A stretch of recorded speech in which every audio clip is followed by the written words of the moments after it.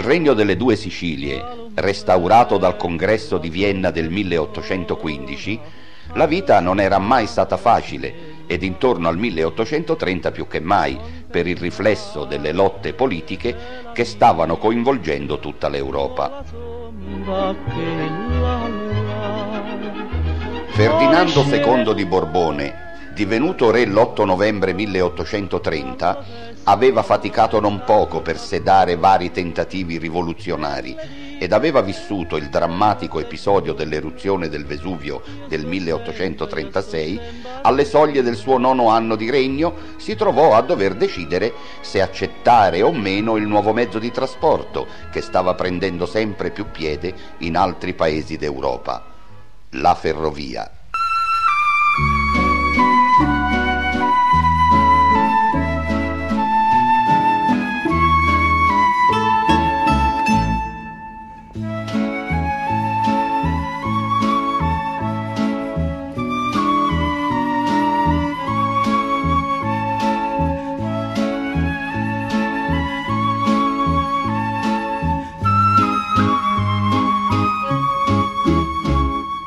Fino ad allora i viaggiatori che dovevano recarsi in altre località del regno si servivano di diligenze che partivano dall'odierna piazza del mercato di Napoli e si immettevano sulle scarse strade di comunicazione le cui condizioni erano tutt'altro che soddisfacenti.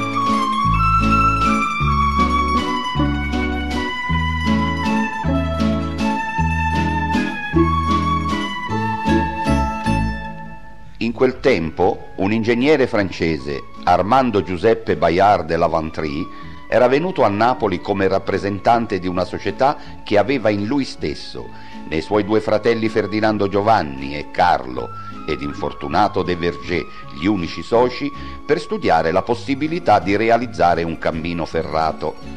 Egli proponeva un collegamento tra Napoli e Nocera, con una diramazione per Castellammare, e l'opera, costruita a spese e rischio di una società per azioni da lui stesso costituita, sarebbe passata allo Stato dopo 99 anni di concessione. La richiesta fu giudicata da quasi tutti i ministri come una cosa pazza, ma la riconosciuta utilità convinse il sovrano a concedere al francese la facoltà di realizzare la sua ferrovia.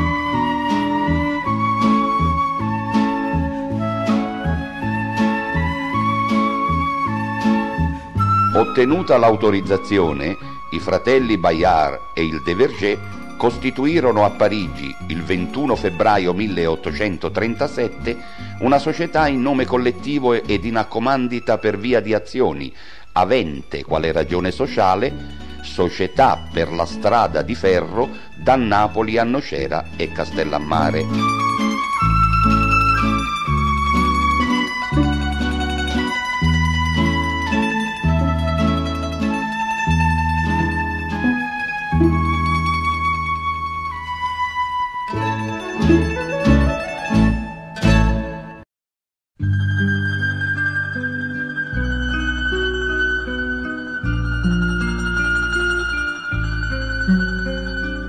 Fondi necessari alla realizzazione dell'impresa furono raccolti attraverso l'emissione di due serie di azioni con titoli da mille franchi francesi ciascuna, per un totale di 12.500 titoli.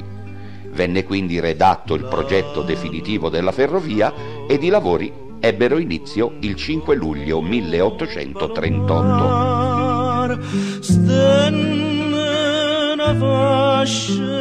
d'argent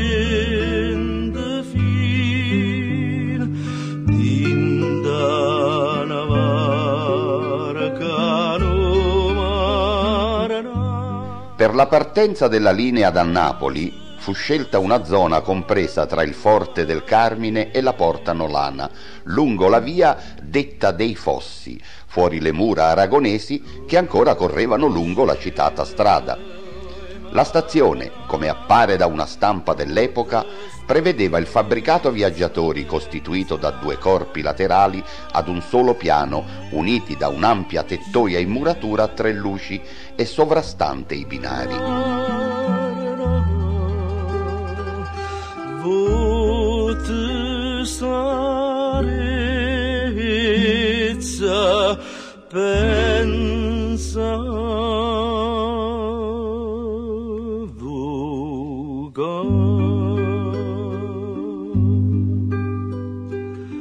La costruzione della linea procedette con regolarità, pur se attraverso alcune difficoltà di natura locale.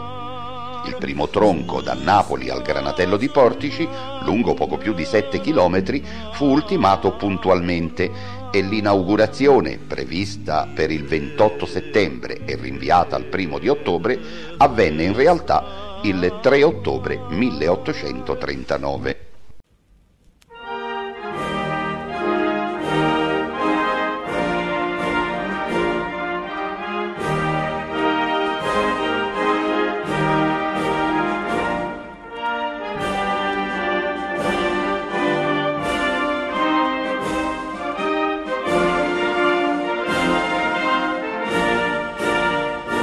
Si legge al riguardo nella rubrica Notizie interne del giornale del Regno delle Due Sicilie del 5 ottobre. Ad un segnale dato dall'alto di quella tenda reale, partì dalla stazione di Napoli il primo convoglio, composto di vetture sulle quali ordinatamente andavano 48 invitati, 60 ufficiali dell'armata di Sua Maestà, 30 soldati di infanteria, 30 di artiglieria e 60 marinai dei nostri reali legni e chiudeva il convoglio nell'ultima vettura la musical banda della Guardia Reale. Giunto esso al granatello, tosto tornò alla stazione ond'erasi mosso.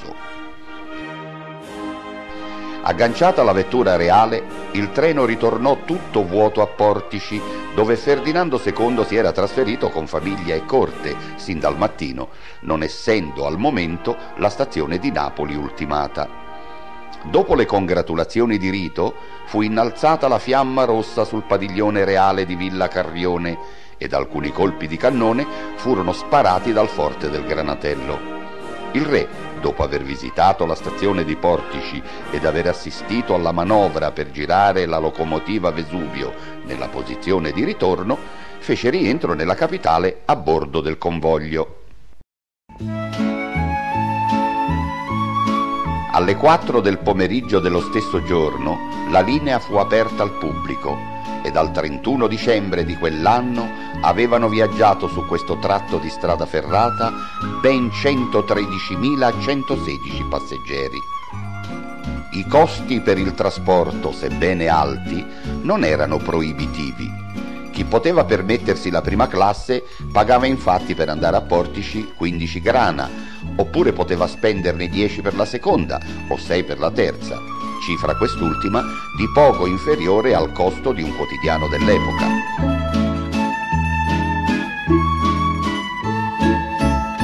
Nella ferrovia del Bayar era uso assegnare ad ogni passeggero il posto tramite rilascio di biglietto numerato, il cui prezzo era rimborsabile se la partenza del treno avveniva con un ritardo di oltre 15 minuti.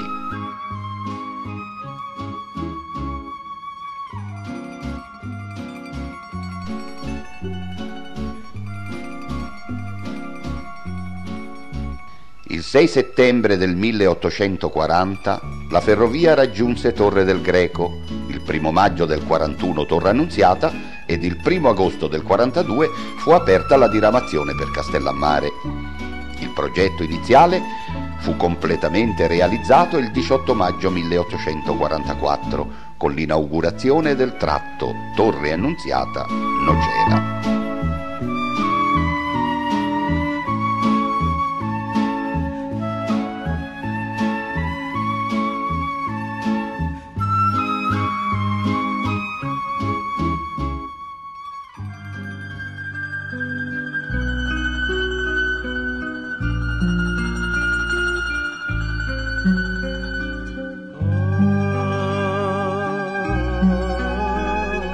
Con il completamento della linea ferroviaria si ebbe l'ultimazione dei lavori relativi alla stazione di Napoli, il cui fronte fu portato sulla via dei Fossi mediante la costruzione di un edificio a due piani con pianta a ferro di cavallo.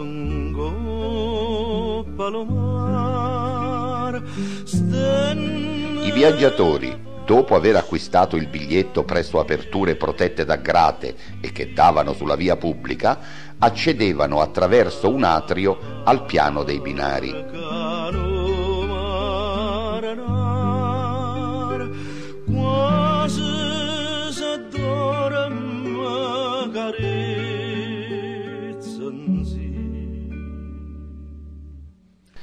I viaggiatori di prima classe prendevano posto in vetture realizzate a Napoli, le quali erano simili a diligenze e dotate di sedili imbottiti. Il comfort era legato al costo del biglietto. Carri con panche di legno venivano impiegati per le restanti classi e non dovevano essere troppo comodi, tanto che ancora oggi in dialetto il termine sciaraballo sta ad indicare un veicolo scomodo e traballante, come dovevano essere gli charaban del Bayard.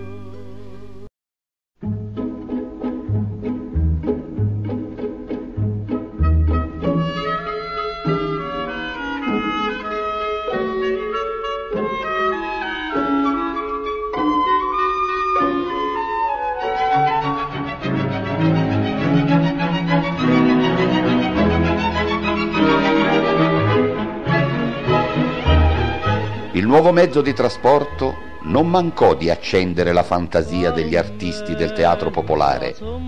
Appena venti giorni dopo l'inaugurazione della Napoli Portici, il commediografo napoletano Pasquale Altavilla mise in scena al Teatro San Carlino la ridicola partenza di Pangrazio sul vapore quando la ferrovia raggiunse Castellammare, lo stesso Altavilla propose ai frequentatori del vecchio teatro di Piazza Castello un'aiuta a Castellammare per la strada de Fierro, con interpreti Pasquale Cocozziello, Anselmo Tartaglia e Pulcinella. Io sto sempre, io sto sempre a sospirare.